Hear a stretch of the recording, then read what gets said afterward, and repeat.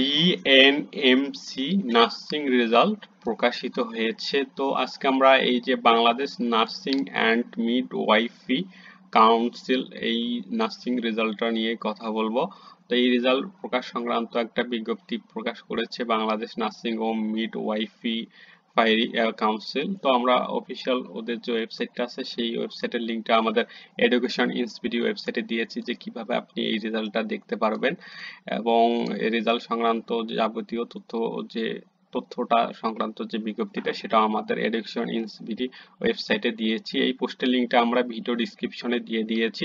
তো প্রথমে আমরা এদের অফিসিয়াল যে ওয়েবসাইটটা আছে বিএনএমসি এই এখানে যাব যে দেখাবো যে, কীভাবে আপনার রেজাল্টটা দেখতে পারেন।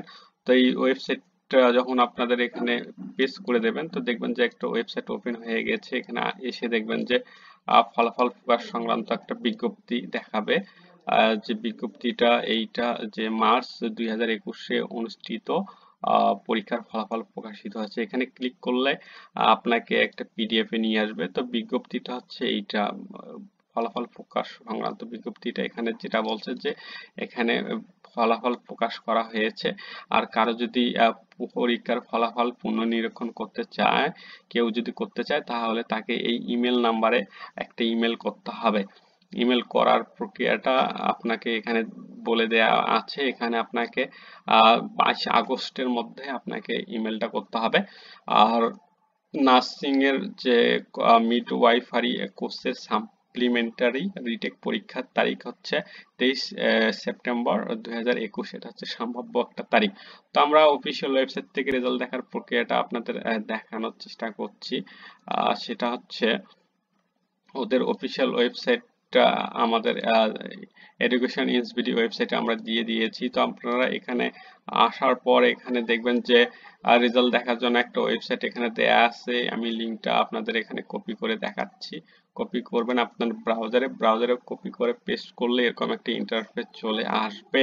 তো এখানে আসার পর আপনাকে আপনার এক্সামটা এখানে সিলেক্ট করতে হবে। আপনার স্টুডেন্ট যে আইডি বা রোল যেটা হয় সেটা আপনি এখানে দিয়ে সার্চ রেজাল্ট প্রেস করবেন।